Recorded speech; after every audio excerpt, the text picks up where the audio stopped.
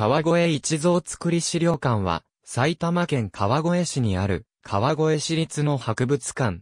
明治26年3月17日の川越大火の直後に建築が始められ、同年12月に刊行した蔵造りの商家を博物館にしたもの。タバコ卸問屋だった小山文作りが建てた万文で、小山家は江戸時代から刻みタバコなどを製造していた豪商で、明治時代にタバコが1000倍制度となると、タバコ元売り8人に指定され罪を成した。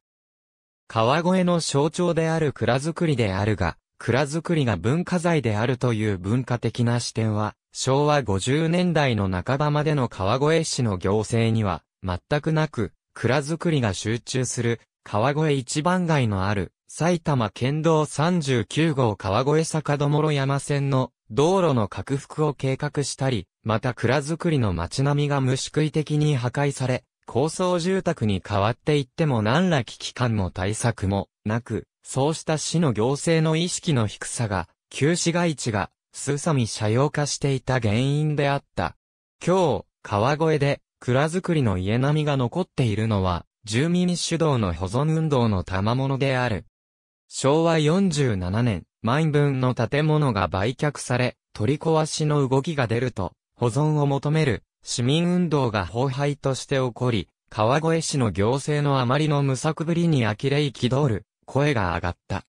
その結果、初めて市が動き、川越市の開発公社が土地、建物を取得して、満分は再生され、昭和52年10月に、川越一蔵造り資料館という啓蒙的な施設に結実したものである。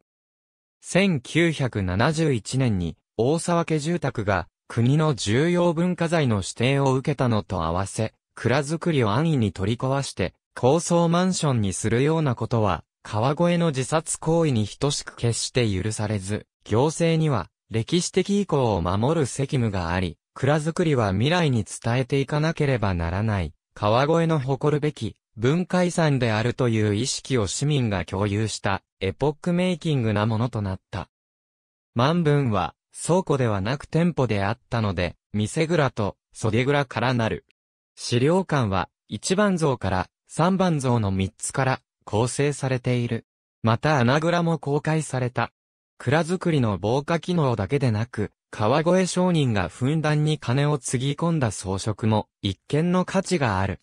厚い土壁と豪壮な屋根瓦、重厚な観音扉などは建築学上、重要な遺構である。万文は随所にレンガが用いられており、明治期の日本でのレンガ構造の進展を知る重要な資料でもある。蔵造りの内部見学や当時の商家の民具の展示も興味深い。タバコ卸商、万文ゆかりのタバコ配送の荷箱車や明治期のタバコなどちょっとしたタバコ博物館にもなっている。川越の蔵造りは、大化とは切り離せない。そのため、資料館には、江戸時代の川越藩の町火消しの道具、衣装や消防ポンプ、明治以降の消防組や降雪消防など川越の消防の変遷も展示されている。利用案内は以下の通りだが、耐震化事業中のため2019年3月まで休館予定である。ありがとうございます。